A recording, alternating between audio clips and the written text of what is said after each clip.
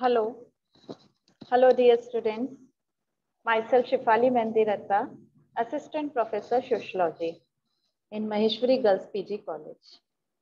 Today we will discuss a beautiful topic related to society named socialization. So let's go with this topic.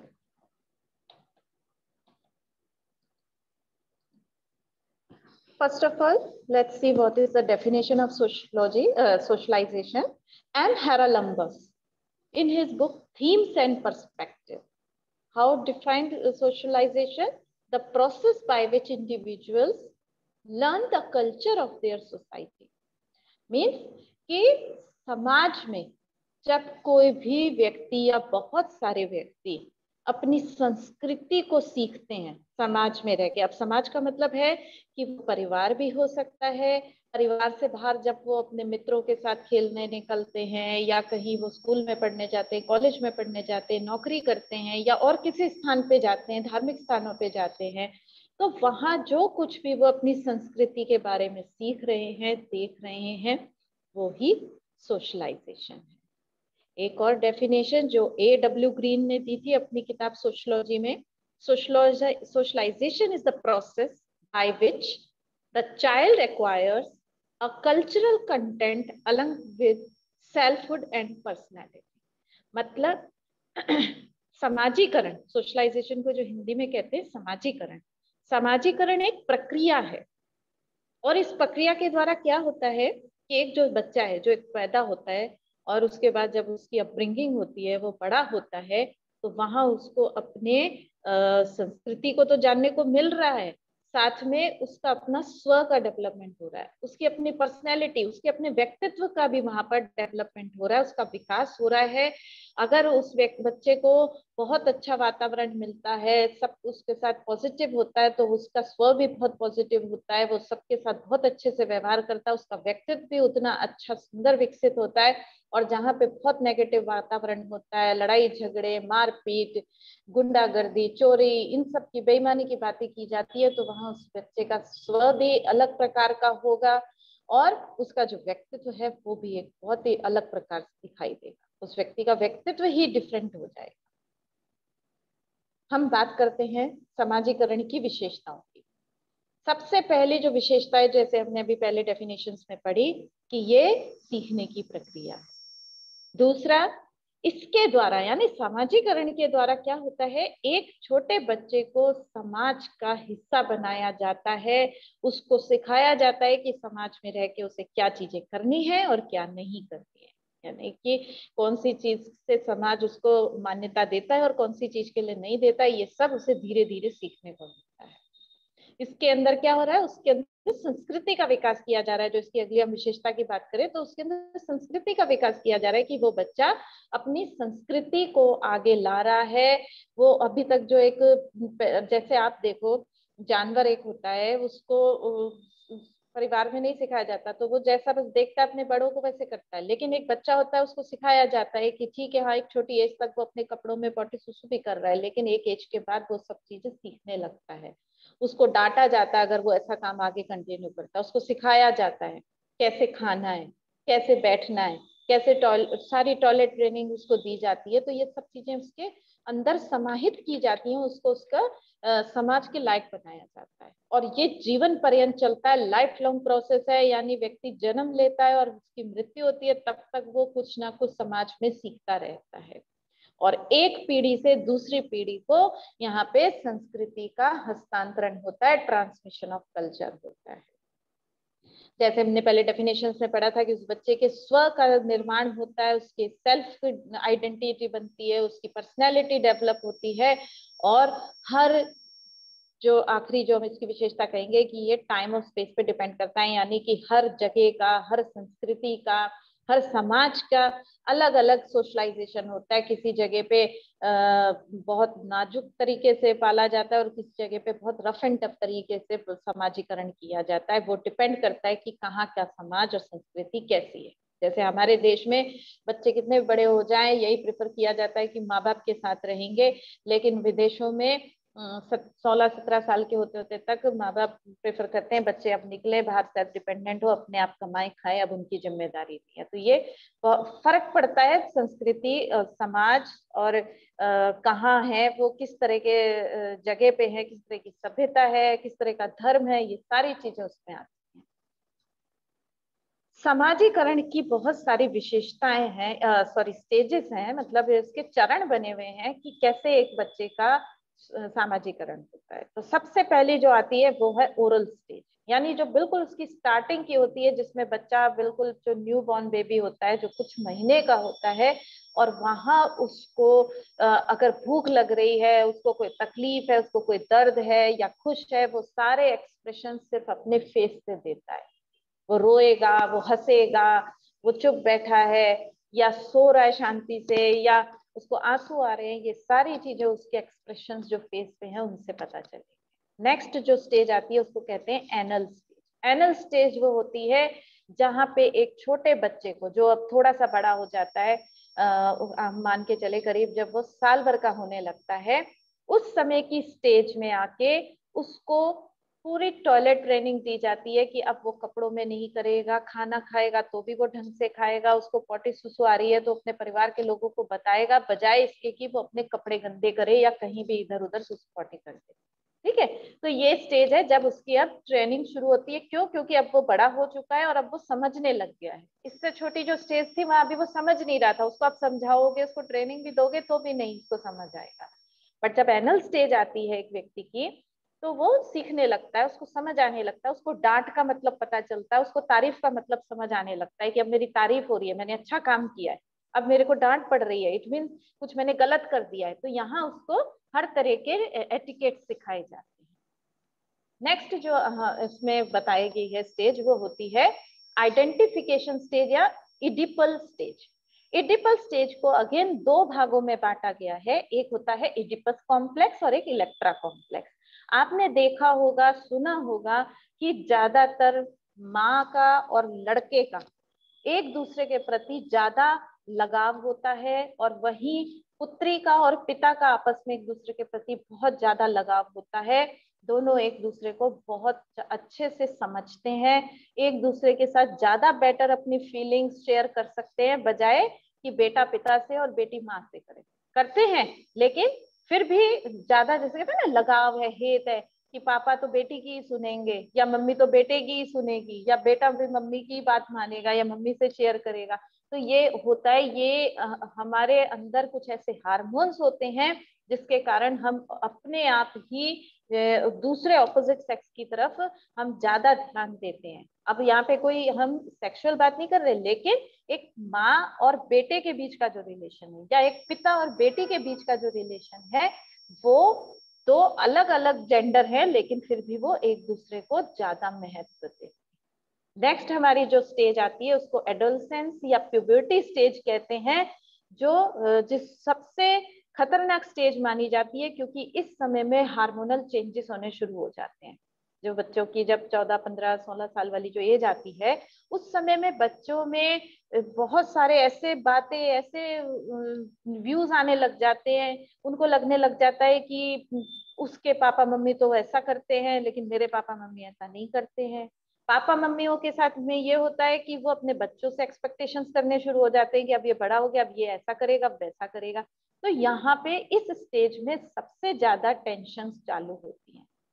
कि बच्चों को अपने माँ बाप समझ नहीं आ रहे होते और माँ बाप को अपने बच्चे समझ नहीं आ रहे होते कि क्या कर रहे हैं, ये तो सब बिल्कुल गलत जा रहे हैं, हमारे हाथ से निकल रहे हैं। और बच्चों को लग रहा होता है कि हमारे माँ बाप सबसे बेकार हैं, बाकी सब बहुत बढ़िया है। ठीक है? नेक्स्ट हमारा आता है यूथ स्टेज यूथ स्टेज करता है जब बच्चा अब 18 के अब का हो जाता है। यहाँ पे अब वो अपने जॉब से रिलेटेड उसके बहुत सारे कॉन्फ्लिक्ट्स आ जाते हैं। जॉब के साथ साथ में उसके मैरिज से रिलेटेड उसके बातें चालू हो जाती हैं।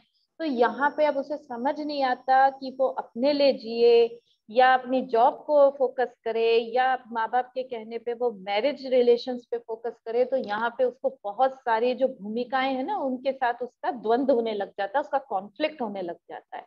और वो बहुत एक अजीब सी स्थिति में पहुँच जाता है कि वो किसकी सुने, किसकी नहीं सुने। खुद को खुश रखे कि अपने समाज को, अपने परिवार को खुश रखे। परिवार को रखता है तो वो खुद को नहीं रख पा रहा और खुद को रख रहा है तो परिवार खुश नहीं है।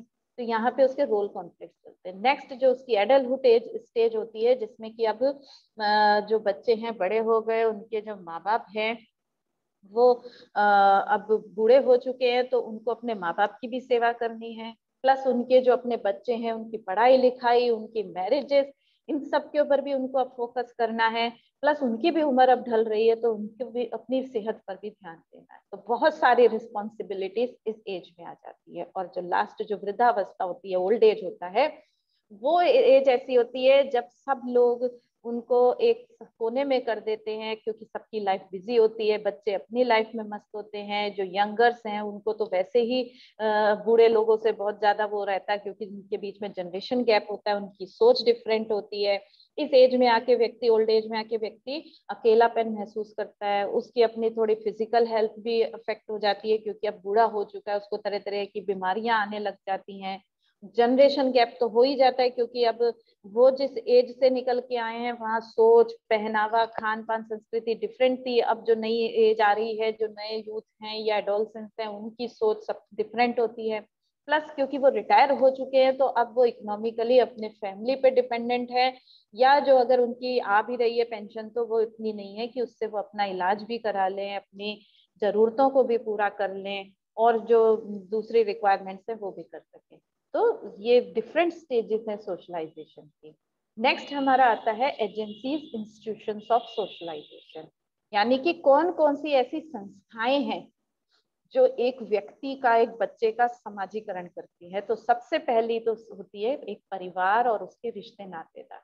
यानी परिवार और रिश्ते नातेदार में वो बच्चा सबसे बेस्ट तरीके से सीखता है कि कैसे मुझे अपने परिवार में रहना है और परिवार में किन चीज़ों के लिए हाँ कहा जा रहा है, किन चीज़ों के लिए ना कहा जा रहा है, यानी कि कब उसको तारीफ़ मिल रही है, कब उसको डांट पड़ रही है, कब कब उसको धमकाया जा रहा है कि आगे से ऐसा नहीं होना चाहिए, सारी चीज़ें स्टार्टिंग में होती है। नेक्स्ट उसका आता है, जब वो बाहर खेलने निकलता है तो अपने उसके जो दोस्त हैं, उसके खेल के जो फ्रेंड्स हैं, या वैसे ही कोई दूर स्कूल फ्रेंड्स हैं, वो सब आ जाते हैं। नेबरहुड है पास पड़ोस है। पास पड़ोस में उसको कैसे लोगों के साथ बिहेव करना है, किसको नमस्ते करनी है, किसके पैर छूने हैं, किसके कैसे जवाब देना है, ये सारी चीज़ें वो सीखता है पास पड़ोस में। एजुकेशन इंस्टीट्यूट से, यानी सबसे पहले वो स्कूल जा रहा है स्कूल के बाद कॉलेज जा रहा है यूनिवर्सिटी जा रहा है या कोई कोचिंग सेंटर जा रहा है तो हर जगह उसको कैसा व्यवहार करना है, ये सब चीज़ें भी इसी में आती है। नेक्स्ट आता है मैरिज मैरिज को भी एक संस्था माना जाता है, इंस्टीट्यूशन माना जाता है, क्योंकि इंस्टीट्यूशन का मतलब होता है एक ऐसी जगह जहाँ के कुछ रूल रेगुलेशंस होते हैं और आपको उनको फॉलो करना ज़रूरी होता है अगर आप उसके मेंबर बन रहे हो। जैसे आप किसी कॉलेज को किसी कोचिंग इंस्टीट्यूट को ज्वाइन करते हो तो उसके भी कोई आपको आ, उसके रूल रेगुलेशन मानने पड़ते हैं है ना? ऐसे ही मैरिज भी एक, एक संस्था है जिस जिसमें आपको एंटर करने से पहले आपको उसके कुछ रूल रेगुलेशन मानने पड़ते हैं।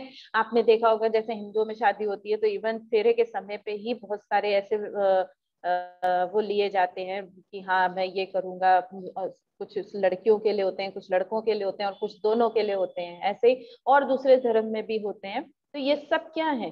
ये रूल रेगुलेशंस हैं जो अब आप, क्योंकि अब एक नई उसमें लाइफ में जा रहे हो तो वहाँ आपको उसको फॉलो करना पड़ेगा। नेक्स्ट आते हैं रिलीजियस इंस्टीट्यूशन यानी धार्मिक संस्थान आप कहाँ, किस धार्मिक धार्मिक मंदिर में, मस्जिद में, गुरुद्वारे में, चर्च में या और किसी ऐसी जगह जा रहे हो, वहाँ आपको कैसे बिहेव करना है? जैसे होता है गुरुद्वारे में है या मस्जिद वगैरह में जाते हैं तो वहाँ पूरा सिर ढक के जाते हैं, है ना? ज़रूरी होता है, वहाँ पे कंपल्सरी होता है। वहाँ पर अंदर एंटर नहीं कर सकते। तो ये सब चीज़ें सीखने की होती है कि व्यक्ति क्या कर रहा है, कैसे कर रहा है, ये सब वो जब बाहर निकलता है तो सीखता है ऐसे ही उसका सामाजिकरण होता है। फिर जब वो काम धंधा करने लगता है, अपनी कोई नौकरी करता है, कोई बिज़नेस करता है या कुछ और इस तरह का करता है जिससे उसको इनकम होने लगती है, वहाँ भी वो बहुत कुछ सीखता है।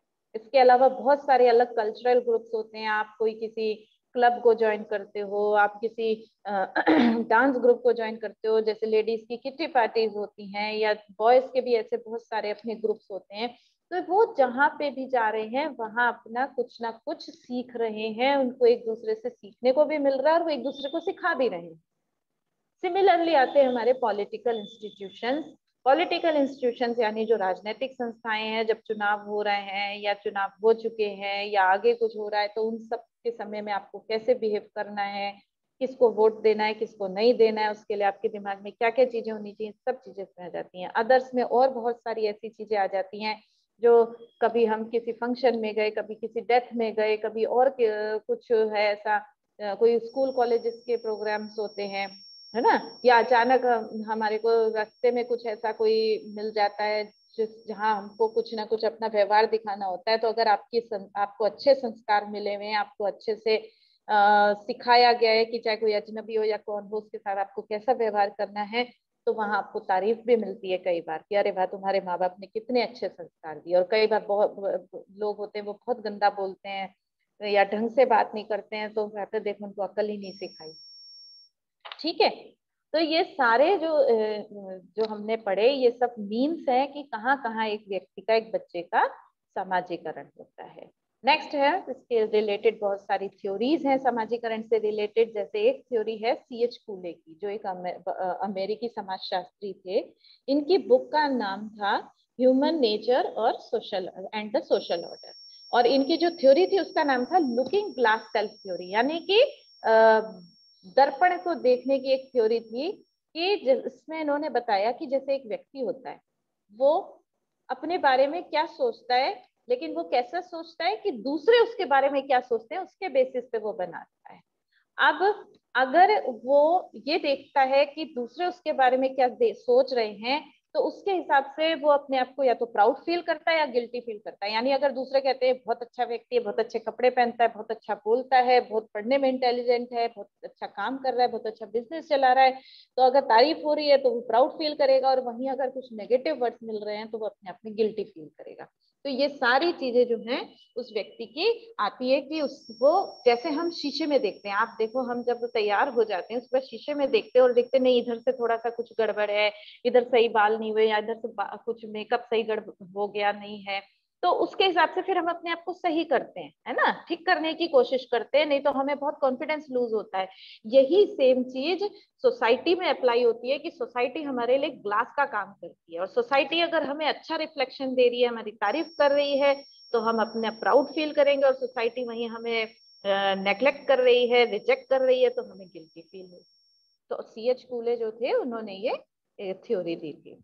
दूसरी थ्योरी थी जिसका नाम था generalized others generalized others theory जो थी, वो उन्होंने जो दी, उसको, दूसरा नाम है आई एंड मी थ्योरी और ये देने वाले थे George Herbert Mead M E A D Mead George Herbert Mead इनकी जो बुक थी, उसका नाम था mind self and society mind self and society इसमें इन्होंने क्या बताया कि इस थ्योरी में कि आई जो होता है, वो एक व्यक्ति का दूसरों के प्रति व्यवहार होता है। यानी कि मैं दूसरों से कैसा व्यवहार करता हूँ? ठीक है? मी क्या होता है कि दूसरे हमारे व्यवहार से कैसा हमें उसका पलट के व्यवहार करते हैं, यानी कैसा रिस्पॉन्स देते हैं, यानी तो अगर मैंने अच्छा व्यवहार किया है सामने वाले से तो अधिकतम चांसेस यही होंगे कि सामने वाला भी पलट के मुझसे अच्छे से बात करेगा, मुझे रिस्पेक्ट देगा। ठीक है? वहीं अगर मैंने किसी से बहुत बुरा व्यवहार किया, कटु शब्द बोले, लड़ाई झगड़े वाली मेरी टोन है तो सामने वाला भी कोशिश यही होगी उसकी कि मैं, वो भी फिर गुस्से में जवाब देगा, उल्टा सीधा बोलेगा, गाली गलोच भी कर सकता है। तो आई हो गया कि मैं कैसा व्यवहार कर रहा हूँ दूसरों से और मी हो गया, दूसरे मेरे उसका रिस्पॉन्स कैसा दे रहे हैं। और इन दोनों के बीच में जो कुछ चल रहा है, यानी इन दोनों के बीच में जो भी अंत क्रिया हो रही है इंटरेक्शन हो रहा है, वो ही एक व्यक्ति के सेल्फ को डेवलप करता है। यानी कि उस व्यक्ति का स्व उसी से स्व का निर्माण होता है कि यदि वो अच्छा व्यवहार कर रहा है तो उसका स्व का निर्माण अच्छा होगा। क्यों? क्योंकि उसको पलट के रिस्पॉन्स भी अच्छा मिल रहा है। तो उसमें और कॉन्फिडेंस आएगा कि हाँ ये अच्छी चीज़ थी। जैसे हम कभी कोई कपड़ा पहनते हैं, कोई ड्रेस पहनते हैं और उसके बाद हमारी कई लोग तारीफ़ कर देते हैं कि अरे वाह, बहुत सुंदर लग रही है, बहुत अच्छी है, बहुत प्यारा कलर है डिज़ाइन बहुत अच्छा है। तो हमारे मन में कॉन्फिडेंस आ जाता है, हम फिर आगे फिर कोई ऐसा मौका ढूंढेंगे उस ड्रेस को पहनने का। लेकिन और वहीं अगर हमने ऐसी कुछ पहना और उसके लिए चार लोगों ने कह दिया, नहीं जी, बेकार है तो अच्छी नहीं लग रही, तुम्हारे पे सूट नहीं कर रही। तो हम क्या करते हैं, फिर उसको अवॉइड करते हैं। हमें वहाँ कहीं मौका भी मिल रहा होगा ना तो भी हम कुछ और ऑप्शन दूसरा उसको ढूँढने की कोशिश करेंगे। तो ये सब आई और मी के कारण होता है कि मैंने क्या किया? ये सेम चीज़ बिहेवियर में भी आती है कि अगर मैंने अच्छा बिहेवियर किया तो मुझे तारीफ़ मिली तो मैं आगे उसको और कंटिन्यू करने की कोशिश करूँगी या करूँगा। लेकिन अगर वहीं मुझे वहाँ डांट पड़ी या रिजेक्शन मिला, है ना? तो वहाँ मैं उसको आगे कंटिन्यू नहीं करूँगा तीसरी थ्योरी दी थी सिगमंड फ्रेड ने। ये एक मनोवैज्ञानिक थे साइकोलॉजिस्ट थे और उन्होंने बताया था कि हमारे अंदर तीन तरह का स्व होता है। तीन तरह की हमारे अंदर अहम होते हैं, जिसमें से सबसे पहला जो अहम होता है, उन्होंने बताया, और ये हर एक में अलग अलग होते हैं। किसी में इड होता है, किसी में ईगो होता है, किसी में सुपर ईगो होता है ना? तो इड तो इड ही कहलाता है ईगो और सुपर ईगो अहम और परा अहम कहलाते हैं। तो इड उन्होंने बताया कि बहुत से व्यक्तियों के अंदर इड की भावना सबसे ज़्यादा पाई जाती है। इड क्या है कि आपको अगर कोई चीज़ चाहिए तो वो चाहे गलत तरीके से प्राप्त करनी है, चाहे कैसे भी करनी है, वो चीज़ मेरी हो। मैं आपको भी इसका एग्ज़ाम्पल दूँगी। दूसरा जो होता है वो ईगो है। ईगो क्या करता है? वो हमारे एक चेतन मन के साथ चलता है। और वो हमें बताता है कि ये चीज़ सही है कि नहीं। हमें मतलब उसके, हमारे मॉरल वैल्यूज़ को उसमें जोड़ता है कहीं ना कहीं और हमें कहता है कि हाँ ठीक है, अगर लग रहा है कि ये चीज़ गलत तरीके से आ रही है तो हम इसको नहीं लेंगे, ठीक है? और सुपर ईगो जो होता है, वो इन सबसे ऊपर होता है और वो कहता है कि अगर ये चीज़ आपकी नहीं है तो आपको किसी भी हाल में नहीं लेनी है। आप लोगों ने कई बार अखबारों में न्यूज़ में सुना होगा कि आ, कई बार किसी ऑटो वाले को किसी टैक्सी वाले को किसी रिक्शे वाले को या किसी और व्यक्ति को राह चलते कोई पर्स मिल गया तो पैसे मिल गए बहुत सारे और उसने जाके उसको जमा करा दिया। है ना? तो जमा करा दिए जाके कि पुलिस थाने में या कहीं जो भी था, जैसे भी अगर कोई नंबर था तो कांटेक्ट करके दे दिए वापस। इसका मतलब है उस व्यक्ति का सुपर ईगो उसके ऊपर हावी है। सुपर ईगो कहता है कि ये चीज़ मेरी नहीं है। पराहम का मानना है कि अगर ये चीज़ मेरी नहीं है तो मेरे जो वैल्यूज़ हैं, मेरी जो नैतिकता है, वो ये कहती है मुझे कि मुझे इस चीज़ को वापस कर देना है, इसको अपने पास नहीं रखना है। जो हमारे साधु महात्मा जो हुआ करते थे, पहले जो हर चीज़ को त्याग देते थे कि ये चीज़ मेरी नहीं है, जितनी मुझे चाहिए मैं उतना मांग के ले लूँगा, भिक्षा में ले लूँगा, वो करते थे। वो उन सबके सुपर ईगो सबसे स्ट्रांग होते थे। क्योंकि वो उनको जो चीज़ उनकी नहीं है, उसको लेने ही नहीं देते थे। दूसरी चीज़ आती है ईगो। ईगो ये कहता है कि ठीक है, बहुत सारा ऐसा केस होता है कि हमें चलते चलते कोई चीज़ मिल गई है ना? अब वहाँ आसपास हमें कोई नहीं दिख रहा है, हमें समझ नहीं आ रहा कि किसकी हो सकती है, लेकिन हमने कहा, ठीक है, जब नहीं पता गिर गई, मुझे मिल गई तो मैंने रख ली। तो यहाँ पे क्या हुआ? मेरा ईगो है, ठीक है, मैंने चोरी नहीं की, किसी का चुपचाप से उठाया नहीं है, लेकिन अब वो गिरा हुआ मिल गया या कोई छोड़ गया या कुछ ऐसी चीज़ थी कि अब उसका कोई दावेदार नहीं है जो मेरे सामने हो। मैं, ईगो इतना महान नहीं है कि वो जाके उसको पुलिस थाने में जमा कराएगा। वो कहेगा कि अगर इसका मुझे कोई आसपास नहीं दिख रहा है तो मैं इसको ले लेता हूँ। इड जो होता है, वो पूरी कोशिश करता है, जो आपने देखा है, जो चोर उचक्के जो होते हैं, या ये जो गलत काम करने वाले लोग होते हैं पिक पॉकेटर्स होते हैं, जो जेब कतरे होते हैं, या सामान उठा के आपका ध्यान बढ़ते ही उठा के ले जाते हैं, ये इनका इड हावी होता है इनके ऊपर। इड कहता है कि ये चीज़ मुझे चाहिए, मुझे आगे अपना कुछ और चीज़ें खरीदनी है, मुझे पैसा चाहिए तो वो जरा सा ध्यान बढ़ते आपके सामने से या आपकी पॉकेट में से, आपके पर्स में से आपका छीन के ले जाएँगे। क्यों? क्योंकि उनके अंदर ईगो और सुपर ईगो है ही नहीं। वो वेट ही नहीं करेंगे कि अगर ये चीज़ गिर जाती तो मैं ले लेता, वो आपके हाथ से छीन के ले जाएँगे। और आपने देखा होगा कि ऐसे बहुत सारे लोग होते हैं जो स्पेशली जब भीड़ भाड़ वाली जगह होती है, वहाँ इस तरह के लोग पाए जाते हैं। और उनका इड जो होता है, वो हावी हो रहा होता है उनके ऊपर, वो उनको इलीगल काम करने को भी मजबूर कर देता है। ये उनके उस एक पर्टिकुलर ऐसे माइंड में एक हार्मोन के कारण होता है कि वो इड को ज़्यादा स्ट्रॉन्ग कर देता है। तो हमारा साइकोलॉजी जो मनोविज्ञान है वो हमारे दिमाग में इस तीन तरह की बातों को बताता है कि हमारे अंदर इड भी होता है, अहम भी होता है और परा अहम भी होता है। तो thank you all of you आगे नेक्स्ट क्लास करेंगे नेक्स्ट टॉपिक के साथ। Thank you